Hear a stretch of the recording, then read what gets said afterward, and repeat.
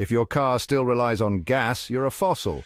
Time to catch up with 2024's hottest car tech. First up, we have self-healing paint. Say goodbye to annoying scratches. This paint can fix itself in just a few hours. Next, wireless EV charging. Source IEEE Spectrum. Just park over a special pad and your car charges up. No cables needed. Plugging in is so last year. Third, AI co-drivers. Source TechCrunch. These smart assistants help with navigation, traffic, and can even take over in emergencies. It's like having a driving buddy who never gets tired. Fourth, advanced biofuels. These aren't your grandpa's biofuels. Source, Popular Mechanics. Made from algae and waste, they're cleaner and more efficient, saving the planet one tank at a time. Finally, augmented reality dashboards.